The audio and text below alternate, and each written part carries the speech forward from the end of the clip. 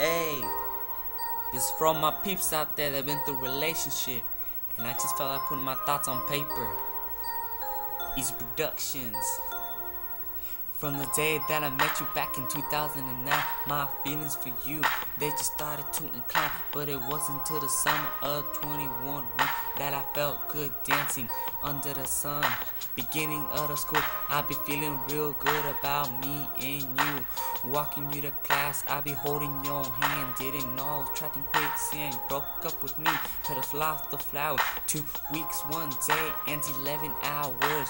Don't think I know the real reason why. Well, you left me for another guy. Hurt me, put a tear in my eye. Visited your house and I made eggs fly.